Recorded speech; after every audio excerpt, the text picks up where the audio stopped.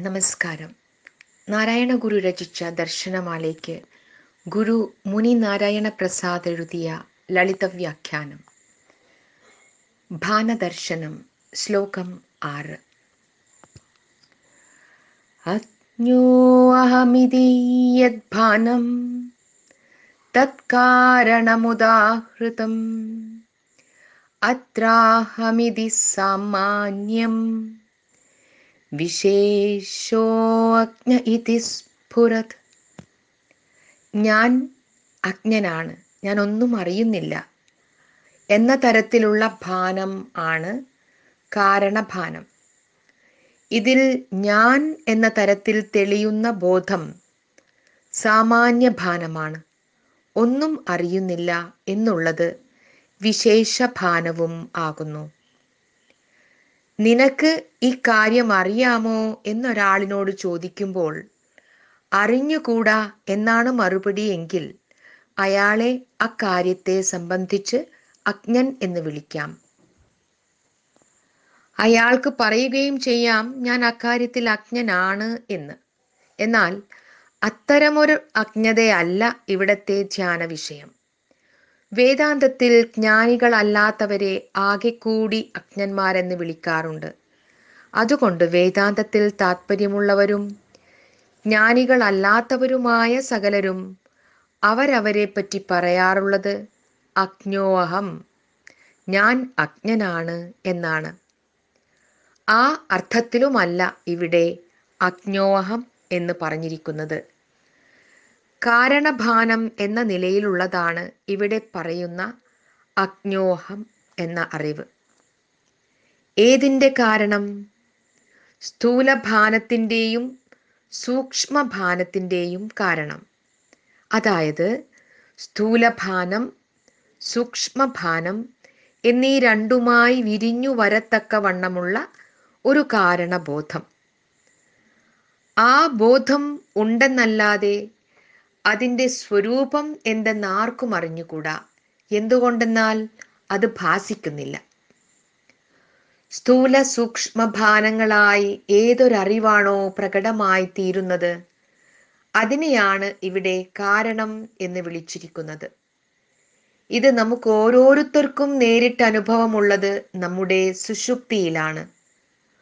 ഒന്നും അറിയാതെ സുഖമായി ഉറങ്ങി എന്നാണ് സുഷുപ്തിയിൽ നിന്ന് ഉണർന്നയാൾ അതിനെപ്പറ്റി പറയുന്നത്. സുഷുപ്തിയിലായിരുന്നപ്പോൾ ഞാൻ സുഷുപ്തിയിലാണെന്നോ ഒന്നും അറിയുന്നില്ലെന്നോ ഒന്നും അയാൾ അറിഞ്ഞിരുന്നില്ല. ഉണർന്നതിനു ശേഷം മാത്രമാണ് താൻ ഒന്നും അറിയാതെയും അതേസമയം ബോധപൂർവകമല്ലാത്ത ഒരു സുഖം അനുഭവിച്ചുകൊണ്ടും ആണ് ആ അവസ്ഥയിൽ ഇരുന്നതെന്നറിയുന്നത്. അവിടെ അജ്ഞോഹം എന്ന ഭാനം ഉണ്ടാകുന്നത് വാസ്തവത്തിൽ അജ്ഞോഹം ആയിരിക്കുന്ന അവസ്ഥയിലല്ല. ഉറക്കം തെളിഞ്ഞതിനു ശേഷമാണ്. സ്വന്തം ഉണ്മയെ സംബന്ധിച്ച് ഒന്നും അറിയാതിരിക്കുന്ന ആ ബോധസത്തയിലാണ് ഉണർന്നു കഴിയുമ്പോൾ പുതിയ പുതിയ അനുഭവങ്ങൾ രൂപം കൊള്ളുന്നത്. അങ്ങനെ സകല വിശേഷ അനുഭവങ്ങൾക്കും ഇരിപ്പിടമായിരിക്കുന്ന അജ്ഞതയായതുകൊണ്ടാണ് അതിനെ കാരണഭാനം എന്ന് വിളിക്കുന്നത്. വെള്ളം എന്ന ഒരു വസ്തുവിന് സൂക്ഷ്മരൂപത്തിൽ നീരാവിയായിട്ടും സ്ഥൂലരൂപത്തിൽ മഞ്ഞുകട്ടയായിട്ടും പ്രകടരൂപം കൈക്കൊള്ളുവാൻ സാധിക്കുന്നത് നമുക്കറിയാമല്ലോ.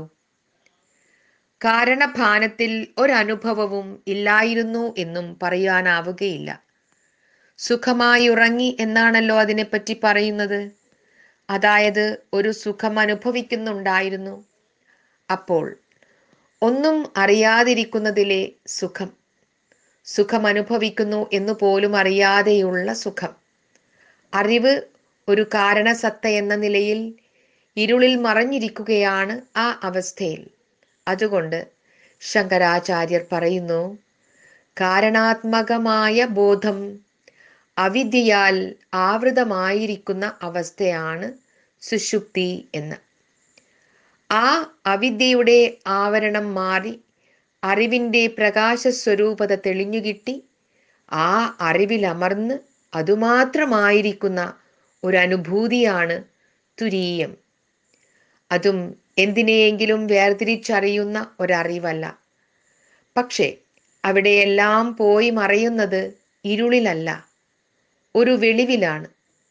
നിരുപാധികമായ അറിവ് അഥവാ ആത്മാവ് അതുമാത്രമായിരിക്കുന്ന കേവല പ്രകാശത്തിലാണ്. അജ്ഞോഹം എന്ന സൂക്ഷ്മഭാനത്തിലുമുണ്ട് ഒരു സാമാന്യവും ഒരു വിശേഷവും. അഹം ഞാൻ എന്നു മാത്രം പറയുമ്പോൾ തന്നെപ്പറ്റി എന്തോ പറയാൻ പോകുന്നു എന്ന് തോന്നും. അതുകൊണ്ട് അത് സാമാന്യമാണ്. അജ്ഞ എന്നുകൂടി ചേർക്കുമ്പോൾ തന്നെപ്പറ്റി എന്തു പറയുന്നു എന്നത് വ്യക്തമായി. അതിന് സവിശേഷത കൈവന്നു. അതുകൊണ്ട് അജ്ഞ എന്നത് ഇവിടെ വിശേഷമാണ്. അങ്ങനെ കാരണഭാനത്തിലുമുണ്ട്. സാമാന്യ കാരണഭാനവും വിശേഷ കാരണഭാനവും. രണ്ടിനും ആശ്രയമായിരിക്കുന്നത് ഏതോ? അത് സാമാന്യ കാരണഭാനാശ്രയവും വിശേഷ കാരണഭാനാശ്രയവും ആയിത്തീരും. ആ ആശ്രയം എന്താണെന്ന് വ്യക്തമായി പറയുക ഇക്കാര്യത്തിൽ സാധ്യമല്ലെന്നു മാത്രം. അജ്ഞതയുടേതായ കൂരിരുട്ട് എന്ന് മാത്രമേ ആ ആശ്രയത്തെപ്പറ്റി നമുക്ക് പറയാനാവൂ. ഓം.